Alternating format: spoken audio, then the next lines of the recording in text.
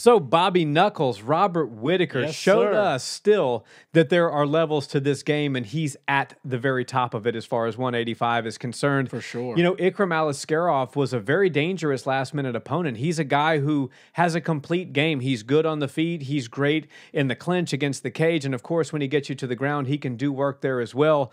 Wins fights from all different fashions, whether it's knockouts, submissions, or decisions. He can do it all. But Robert showed us that, man, he is still at the top level at middleweight. And not only is he at the top level, he's back to his finishing ways. You know, this was his first knockout win. This was his first finish in quite some time. And so he's showing us now that not only is Robert Whittaker a great champion of old, but he could very well be a, a future champion as well. He could reclaim that middleweight belt. And that's certainly what he wants to do. So I want to talk about, you know, his performance against Aliskerov. You know, just under two minutes long. So it certainly wasn't uh, much to break down, but those two minutes, we really saw some excellent world class striking. And then what kind of is set up next for him? Because there's been talks about him being the backup fighter at UFC 305 for Adesanya and DDP. You know, Right. both guys that he's got losses to that he'd love to get back. There's talks of Sean Strickland versus him on that same card, which would be great because a lot of times you want to have moving day on these big pay per view cards. And then there's the possibility of Hamza, which was the fight that we all kind of wanted to see that we had taken from us. So, first of all, what did you think of the performance? What is your what are your takeaways of, of the way Rob looked and his striking? And then what would you like to see next for him? Well, after a performance like that, I always get really excited about what we're going to talk about for what's next for the person that got their hand raised, in this case, Robert Whittaker. And for me, this was such an awesome fight because, uh, of course, Ikram wasn't the opponent that Robert was getting ready for, but in true BMF fashion, Robert was like, "I don't care. I'm this is I'm the I'm the main event of a really good important card, Saudi Arabia's first ever UFC card. It's an important fight night, maybe the best fight night of all time."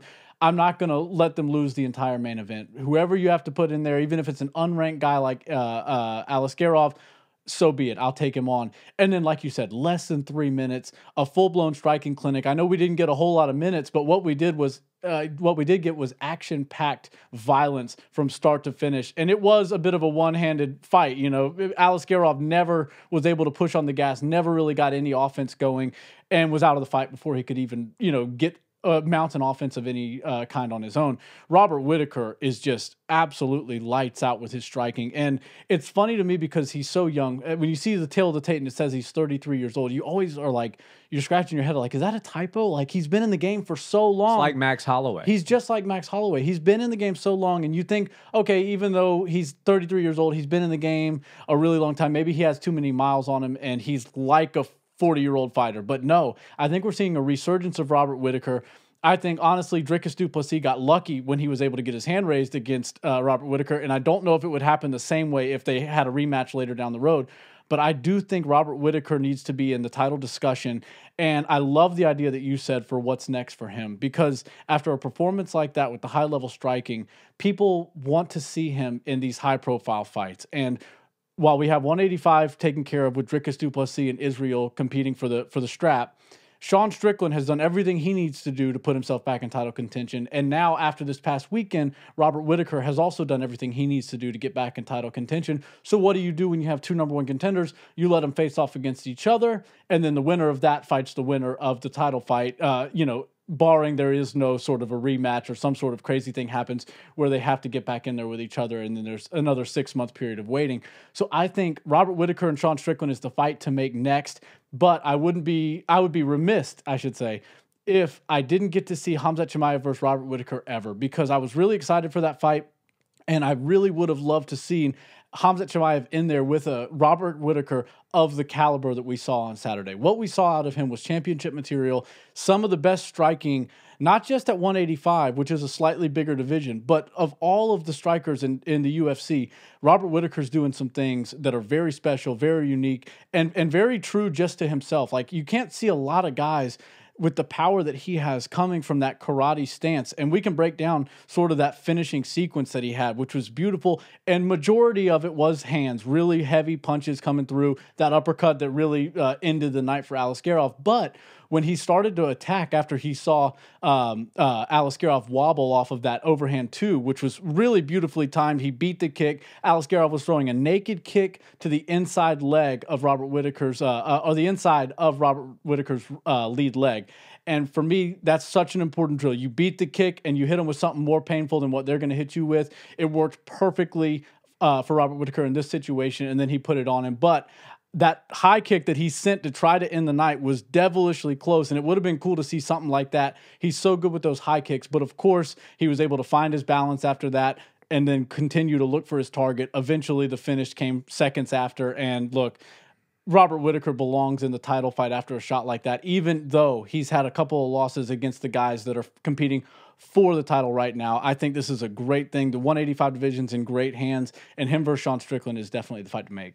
Yeah, well, I mean, with with a performance like that, and then having just beat Paulo Costa recently as well, you would immediately thrust a guy like that into the title fight. The problem is he's lost to both guys that are competing for the title, so he probably will have to do one more unless he does accept a backup sort of position and Dricus or Izzy fall out. They would they would put Rob back in there. Yeah. And you know, for me, I do want to see Rob versus Hamzat at some point, but I think for the time being, that ship has sailed. Yeah. Rob was giving a hand down to Hamzat to begin with. You know, Rob is a guy who's got a resume that stacks up against anybody's in the UFC across any division.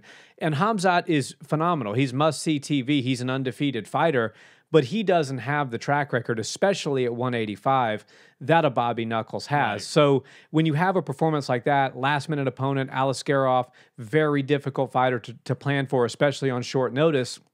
You know, it's almost like he's moving on now to either a number one contenders fight or a backup fight for a title, right? Which would be Sean Strickland because Sean is kind of the odd man out in this equation. We can't forget about Sean because a lot of people, including myself, thought that was an extraordinarily close fight that he had with Dricus earlier this year. Yeah, I thought he won. Yeah, a lot, and I mean, there's certainly an argument for that. It's it was three rounds to two either way you slice it, and if you had it for Sean, great. If you had it for Dricus, great. You wouldn't be wrong either way. Right. But it, the the point is that it was very very close, and so you can't just leave Sean hanging out to dry. So you got to put Strickland in there with somebody, and Robert Whittaker makes sense. If I'm the matchmakers, I'm doing Strickland versus Bobby Knuckles on UFC 305 in Perth. It makes sense. Robert Whittaker is an Australian, very so great great fight to make. And then also if something falls out with a championship fight, you've got four guys that they can figure out something and and put a card together for for a great title fight. Right, just but, like Ikram stepped in. He was on that card originally and then he got bumped to the main event slot, which is even more impressive. Well, I think he was on the card the week before, wasn't he? It was oh, like shoot, a week. Okay. Yeah, I think he was supposed to be fighting the fight night in Vegas the week before, but I, I don't recall exactly. There's no way we could went. ever yeah. find out, right? but uh, but you know, Robert Whittaker. I want to talk about that finishing sequence because to me it was a real striking masterclass, and it was a masterclass in patience and shot selection as yeah. well. Because you know, Ikram Aliskerov is very good with his straight punches. When we did the breakdown on Ikram, you know, that was one of the things we said. He fights really well going backwards with his straight punches, and that could disrupt Rob's be- style because Rob likes to blitz in on his opponents. Right. But that blitzing style is exactly what led to that finish because when he saw that kick coming, he timed it perfectly to start one of his blitzes, and he was able to beat Aliskerov with the overhand, as you said, the right. beat the kick drill that crew Bob Perez instills in all of the fighters here in Houston. What you do is if you see a kick coming, you've got to close that distance because the kick is not effective from a really close range right. and you can beat them with a shot if you see it and you time it appropriately. Right. So he did that beautifully, rocked Aliskerov with the with the overhand and yeah. he was kind of on shaky legs at that point. There was a few other shots and then there was that kick, but that uppercut was just a a total lesson in shot selection and patience. Yeah. He knew exactly what he needed to do. You know, a lot of these fighters when they see somebody hurt, they'll smell blood in the water and they'll just start being wild and, and right. they'll lose all their technique not Robert Whittaker. The kick was beautifully timed, it was well placed, and then he just kind of waited, waited, waited until he saw his shot. Boom, uppercut up the middle, and a few shots on the ground. That was all she wrote. Yeah, so total uh, masterclass in, to me in in striking from Bobby Knuckles. Now you said Dricus got lucky beating Rob, but I'm sure you're going to get some pushback from uh, the the Safas in the comments. Yeah, but, for uh, sure. You know, I, I I think I understand what you're saying. Like obviously, Dricus Du Plessis did a phenomenal job of of mm. finishing a former champion Right. in, in spectacular fashion. But Robert Whittaker, up until that moment, was fighting an extraordinarily competitive fight with Right. Dricus Du Plessis. And anybody can get caught on any day, as you see with Israel Adesanya and Alex Pereira the first time in MMA you know, Izzy was winning that fight and Alex was able to get him out of there towards the end. But then what happens? You know, Izzy comes right back and he puts Alex on ice. Right. So it's one of those things where you can't just, a lot of people are going to say, oh, we don't need to see Bobby Knuckles versus DDP again because we already saw what happened and it was Robert Whittaker gets knocked Right. out you can easily use that same analogy of of um, Adesanya and Pereira to say just because one thing happened in the first fight does not mean that the same thing is going to happen in the second fight. And Right. Robert Whittaker versus DDP, absolutely, the rematch could be a competitive fight. Dricus could win again. Don't get Yeah. me wrong. He might get in there and knock him out again.